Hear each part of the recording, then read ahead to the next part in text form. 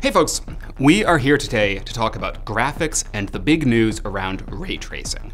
Computer graphics have come an incredible way since the days of the first video games.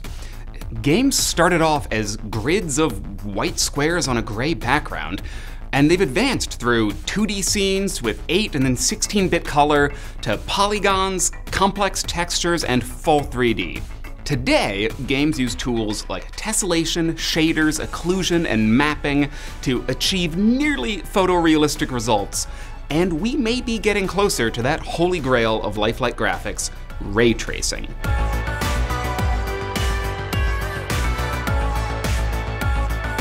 Let's back up a bit. Since those early 3D days, some of the biggest improvements in graphics have had to do with the way scenes render shadows and reflections.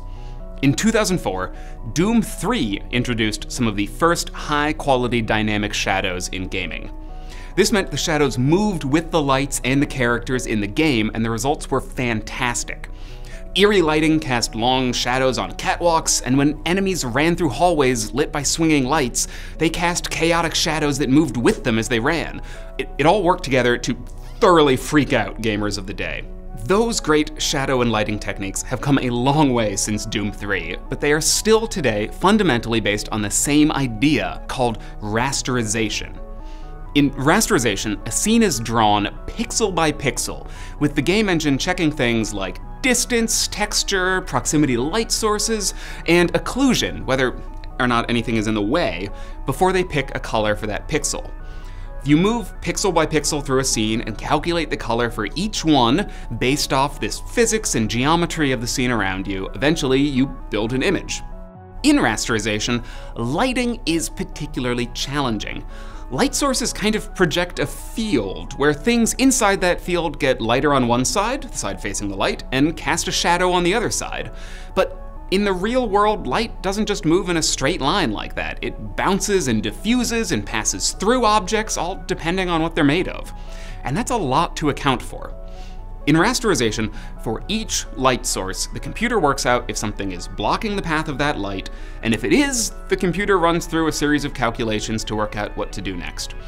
At the simplest, it'll just cast a shadow, more complex processes, like ambient occlusion, try to adjust for the objects in the scene, tweaking the lighting to account for the way objects reflect light and cast some shadows on each other. But still, these methods are relatively crude. The simplest forms of ambient occlusion, called screen space ambient occlusion, or SSAO, only account for the depth of an object in the scene, it essentially tries to put more shadows on objects behind other objects, but it doesn't actually account for where the lights in the scene are. Even advanced ambient occlusion, at best, creates diffuse shadows that still don't actually relate to where light is coming from. And all of these methods struggle with direct light, harsh shadows, mixed lighting, basically the way reflections, shadows, and highlights all work in the real world. All of this is an attempt to get to what people call global illumination, which is the idea that a graphic scene could be rendered just like the real world. And here's where ray tracing comes in. In the real world, light sources emit photons that travel in a straight line until they hit a surface, and there they can either pass through the surface, be reflected, or absorbed. These photons bounce around, and eventually some of them make it into your eyes, and that's how you see.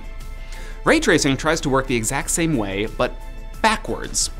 It draws millions of rays outwards from the camera, your perspective in a video game, and then it calculates how they'll bounce around the scene. Whenever a ray bounces off an object, another ray, called a shadow ray, is drawn towards the light sources in the scene. If there's a clear path, that first ray makes the object it bounced off brighter, and if it's blocked, it casts a shadow instead. The big upside to ray tracing is hyper-realistic reflections, shadows, and highlights that don't need to be pre-rendered. All of this lighting detail can be generated based off the geometry in the scene, and as characters and lights move around, the light changes in dynamic and realistic ways. Ray tracing is particularly good at reflections and refraction, things like light moving through a glass of water, and color spill, or the way that a brightly colored object can change the color of other objects near it. Now, ray tracing is potentially actually a simpler system than layering lighting models with shadows and shaders and occlusion, but calculating the paths of millions of rays can take an incredible amount of processing power. To fully ray trace a standard 1920 by 1080 HD scene, you need to draw a minimum of 4 million rays to start getting good results, and potentially 50 million or more. The backwards system of drawing the rays out from the camera instead of out from light sources is actually a way to try to cut down on processing by only rendering the rays that'll actually be seen by the player. Even with this backwards ray trick, processing ray traced images has traditionally been incredibly slow, and no games currently use real time ray tracing. The technology has been entirely limited to pre-rendered video and Hollywood movies.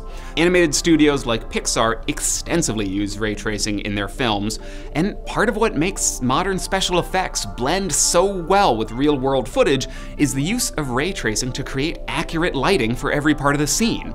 Now, these studios have the luxury of using render farms with dozens of computers working together, and even here, each frame can take hours to draw instead of the fraction of a second we need for a playable game. A single frame can take more than 24 hours to render. But new technology might be changing this. Microsoft has unveiled a new set of tools in DirectX 12 that support ray tracing. DirectX is the set of graphics tools that power most Windows games at a fundamental level, and their newly announced DXR API supports ray tracing in games. NVIDIA also announced their own set of tools called RTX that would leverage their own hardware to speed up real-time ray tracing in games.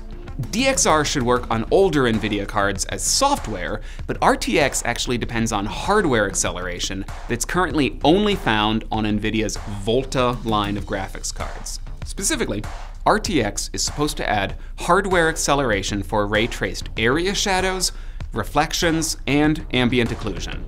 Now this should all work together to create a more lifelike scene. Not one to be left out, AMD announced updates to their Radeon Rays ray tracing system, including support for real-time ray tracing in games, and promised low-level driver support for Microsoft's DXR in the near future. Unity, the game engine of choice for many indie developers, is also incorporating AMD's ray tracing tech into their game design tools, though only for what's called baked or non-moving lights. So, are we at the verge of a ray tracing revolution? Well, not quite yet. And here's where things actually get a little fishy.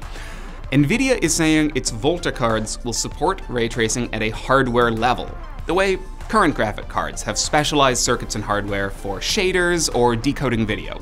However, on current Volta cards, it's unclear what those special hardware features actually are. Now, part of the problem is that there are almost no Volta graphics cards out there. Most Volta cards are actually specialized boards used for supercomputers and AI research. And the only one even approaching a consumer product is the $3,000 Titan V.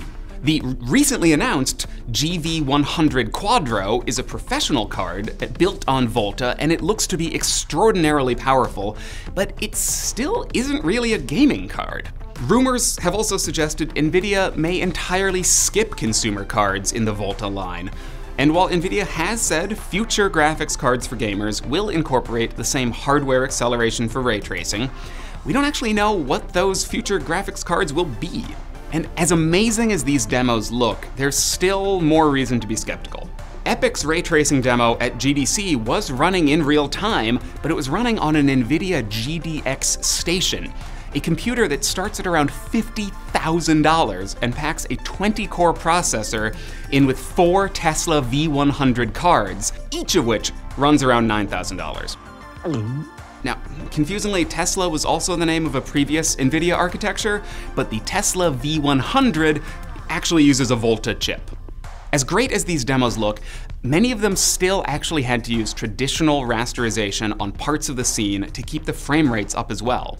This also isn't the first time we've heard announcements about real-time ray tracing. NVIDIA actually announced real-time ray tracing on their Kepler chips at GDC 2012 six years ago.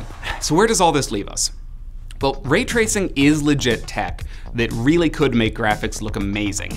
But the demos we've seen this last year aren't even entirely ray traced, and they were running on hardware that is a long ways from what the average gamer might own. Plus, this isn't the first time companies have claimed ray tracing was just around the corner. Intel made these claims in 2010, and so did Nvidia in 2012. There's another part of this too that, as a PC gamer, I hate to even talk about, but it's the consoles. If running these ray trace demos on a normal gaming PC seems like a fantasy, try getting them to run on a PS4. Integrating ray tracing into a game isn't like flipping a switch. It'll take serious work on the part of developers to bring ray traced graphics into a game. I'm sure in the next few years, some brave developer will come out with an insane ray traced project for the PC Master Race. But until the consoles can come close to handling this sort of graphics rendering, ray tracing for all may still be a long ways off.